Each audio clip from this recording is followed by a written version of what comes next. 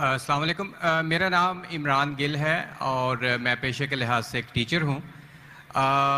और लाहौर से ही हूँ। मेरा सवाल ये है कि मैंने बाइबल मुकद्दस का कई दफ़ा मुतालिया किया है और क्योंकि मैं थियोलॉजी का स्टूडेंट हूँ तो मैंने कुरान मजीद का भी मुतालिया किया है।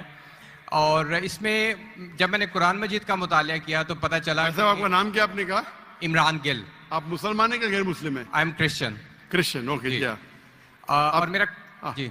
सवाल वापस से दोहराएँगे जी जी। मैं ये बताना चाह रहा हूँ कि I am a teacher theological teacher और बाइबल मुकदस के साथ साथ मैंने कुरान मजीद का भी मुतालिया किया लेकिन मैंने देखा कि वहाँ पे बहुत सी ऐसी आयात हैं जिसमें बताया गया है कि अंजील तौरात और ज़बूर में हिदायत है नूर है रास्ता है सीधी राह है सूरह मायदा है सूरह अम्बिया है सूरह मोमिन है।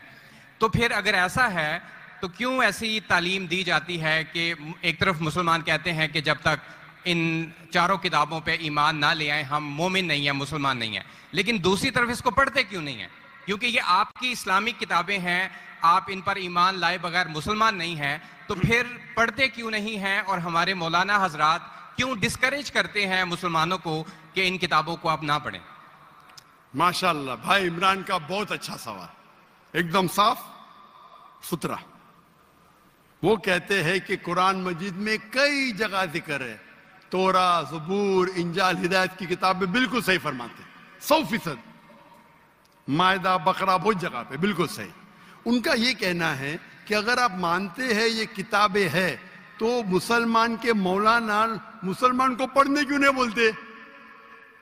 क्योंकि ये किताबें मौजूद ही नहीं है। तोरा जबूल इंजूर मौजूद ही नहीं, अभी जो मौजूद है, उसकी बिगड़ी हुई शक्ल। आज के तारीख में आप टीचर है, मैं तालिब इल्म हूँ। आप टीचर है ना? I am student of comparative religion जो कुरान में लिखा गया है कि इंजील अल्लाह की वही है। हम इंजील को मानते हैं अल्लाह का कलाम, बाइबल को नहीं। बाइबल क्या है? बाइबल ये लफ्ज कहाँ से आया है? From the word Byblos Byblos मतलब किताबों का किताब सही क्या नहीं आप टीचर है? या। ये हम मानते हैं अभी आप पढ़ेंगे। Gospel according to Mark gospel according to Matthew gospel according to John gospel according to Luke हमें चाहिए गॉस्पेल अकॉर्डिंग टू जीसस ईसा सलाम वो किधर है? हम वो चाहते हैं जो ईसा सलाम पे वही नाजिल की। इसीलिए कभी कभी मुसलमान गलत करते। मैं कहता हूँ, बाइबल तो अरबी में तर्जुमा करते इंजिल। मैं बोला, भाई साहब, मैंने बाइबिल का इंजिल नहीं कहा। ये बाइबल जो है, वो इंजिल नहीं है। अल्लाह ताला ने कहा कि जितने किताब पहले है उनको महफूज रखने का वादा ही नहीं किया। लेकिन सूरह हिजर, सूरह नंबर पंद्रह, आयत नंबर नौ में अल्लाह फरमाते, हमने नाजिल किया ज़िक्र और हम इसकी हिफाजत करेंगे। क्योंकि ये आखिरी कलाम है। जितने कलाम मैंने पहले कह चुका हूँ, मेरे आंसर में, जितने कलाम कुरान मजीद के पहले आए, किताब में लिखा है चार। तोरा, जबूर, इंजिल, कुरान।